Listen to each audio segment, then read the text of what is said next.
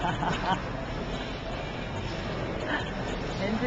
on a cold, all day in New York.